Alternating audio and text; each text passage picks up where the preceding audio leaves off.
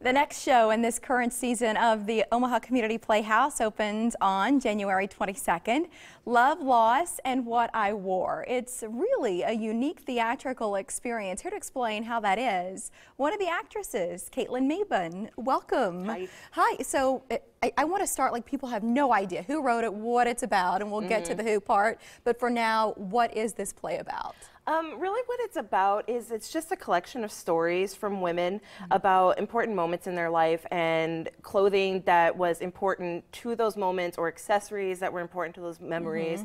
Um, and really, I mean, that's kind of about it. It's kind of in the same vein as um, the show The Vagina Monologues. So it's just it's just it's a collection of stories.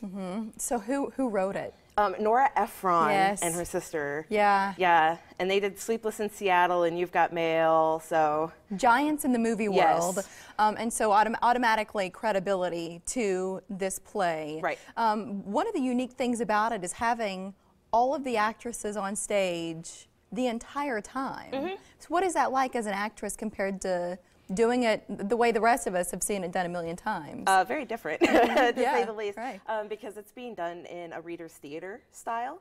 So we're going to be on stage the whole time. We're going to be sitting there, and we'll be reading from our scripts, really Mm-hmm. telling these stories that way. Here you are with the other four women. Oh, I haven't even seen these. Oh, there you have it. Oh, good. We're glad to surprise you, Caitlin. so tell us about the dynamic between you and the four of them. Um, I, have, I haven't actually had a chance to work with them much yet, but we all get along really great. I've I know who all of them are. I've actually the main lady, her name's Charlene Willoughby. She's playing Gingy. Um, she was actually my high school drama teacher, so it's Oh, nice wow. to actually get to work with her. So Uh huh. And there you are again. I don't know if you've seen that one either. I haven't. we, I love that we're surprising you with these images along with our friends at home. Um, do you identify with any of the stories um, that are that are shared in the play? I do you do relate to them? absolutely. I don't necessarily identify that much with some of my characters that Uh-huh. I play, but there are definitely some stories within the show that I, I identify with. There's there's Mm-hmm. one monologue that's about a lady who hates purses and thinks they're such a burden, and exactly. yeah, That's you. Yes. Because you can never find anything. But Right, sort of- they're bottomless pits. But it's not like it's the purse. It's sort of what it symbolizes or attaching it to the Right, moment or right, the event in time that was a milestone. Um, and I think that's what's so interesting is it's not about clothing. It's not superficial in that way. It's just marking those moments Mm-hmm. Yes. uh, with what you were wearing or what you were carrying. And do you think most women will will relate the way you did to at least one story? Oh, absolutely. There's there's no doubt in my mind that you will. th- There is something for everybody within this show, whether it's the whole thing or whether it's just one or two pieces. You're gonna relate. Uh-huh. The show does contain some strong language. Yes. Um, and so I feel like it's it's prudent to warn the audience before they come. So what do, what do you recommend, like an age range? Do you have those staples for this Um, show? I mean, I would probably, if if you're okay with it, any uh, 13 and above, Mm-hmm. probably. Sort of like a PG-13 language. Like I don't know Mm-hmm. how strong it is. There's a couple of f bombs. Okay. You know? Caitlin's just Sorry. telling all. No, I think you got to know because you don't want to have to look at your child and like cover their ears if you brought them in and you didn't know what this was really about. Um, do you relate to your character and, and tell us more about her?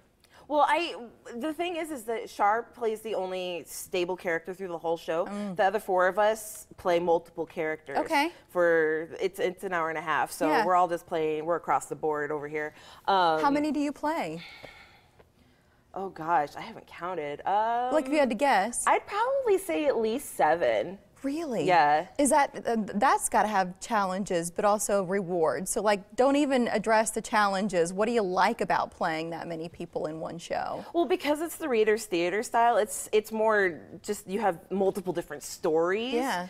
And they're they're delivered slightly differently Mm-hmm. each time, but it's it's not so much characters really. Got it. But you got to own the story, right? Right, You still got to sell the story.